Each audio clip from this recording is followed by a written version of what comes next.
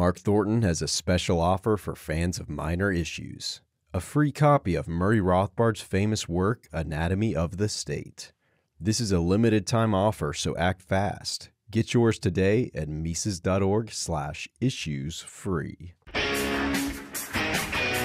Hello, and welcome to the first episode of the Minor Issues Podcast in 2024. What might we expect to see in the new year?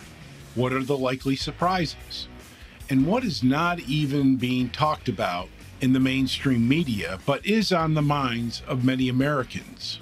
Well, it's a presidential election year, which many prognosticators claim should be a normal to good year in the stock market as incumbent politicians seek to assure voters and investors that all is well in Washington, D.C., and in all the state capitals. Americans would love a return to normal times after years of the government's COVID chaos and a quarter century or more of the Fed's Frankenstein monetary policy. Opening the Wall Street Journal Tuesday morning, the lead headline was Investors Hope for 2024 A Return to Long Lost Normalcy. Many think markets can find a more stable equilibrium after recent rate increases. Boy, everyone can hope.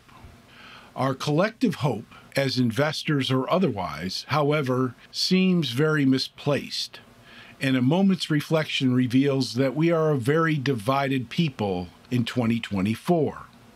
Biden voters hate and fear Trump and the Republicans. Trump voters hate and fear Biden and the Democrats. Vilification impeachment, and criminal charges are the new political process. What does that tell you about the outcome of the election in November when one of the two will win?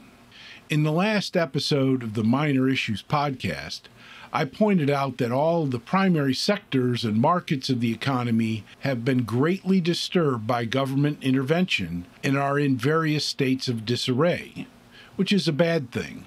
We also pointed out that our traditional political institutions are in chaos, which is potentially a good thing. The problem is that while markets have built in systems of correction and renewal, the political sphere could potentially vacate its traditional orbit and cause catastrophic consequences.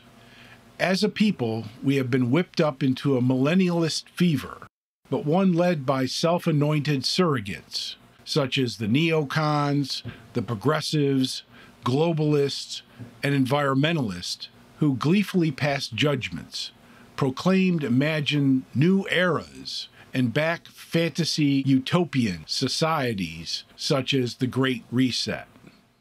The prospects are scary and dangerous, but with the U.S. government's evil fingers dug in on both the Western Front in Europe and in the Holy Land, you can almost hear the doomsday clock ticking.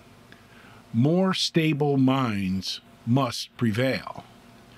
Even stepping back a bit, it certainly can conjure up images of revolution and civil war, even here in the United States. In one public opinion poll, 52% of Republicans, 36% of Democrats, and 23% of independents sided with the idea that the U.S. is facing a new civil war. The Center for Politics recently reported polling results from last fall that more than two thirds of Biden and Trump voters viewed the other side as doing lasting harm to the country, with half of them viewing the other side as threats to the American way of life, and 40% of both agreeing that it is acceptable to use violence to prevent the other side from achieving their goals. Hat tip Michael Oliver at MSA. Revolution and Civil War would have, as they always have had, disastrous consequences. And that is why the political sphere could vacate its traditional orbit and cause catastrophic consequences. On the other hand, peaceful secession is obviously a better way out of this mess. Breaking up or national divorce would at least put disgruntled groups at a distance and allow them to pursue their own peculiar majoritarian agendas. However, secession is messy, time consuming, and can degenerate. It's certainly not what the leaders of this evil cabal overlording this political mess want, and it's a good way to start. The most direct and peaceful solution is that we all be willing to put the self enrichment of the individual as our highest goal and the highest goal for American society. This means denigrating the state in all its aspects and the neutering of all its functions. It means no subsidies or special privileges. It means sink or swim.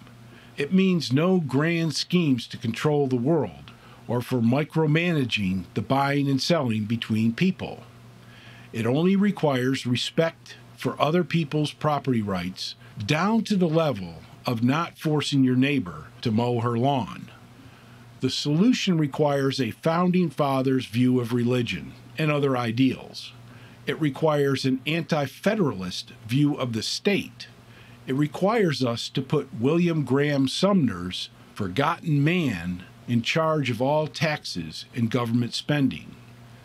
To paraphrase Carl Jung, you can put a million zeros together, but it does not add up to a single one. Ultimately, the quality of society depends on the quality of the individual. The quality of the individual requires a rebirth of the spirit. And the rebirth of the spirit requires freedom, not obedience to the state. That should be clear. That's what made this country great, and Americans the most hardworking, happy, and charitable people, a most literate, inventive, and entrepreneurial people, a people of great character, and a nation of great characters. Right now, Americans have circled the wagons and are ready to fight. That is exactly what the vile cabal wants.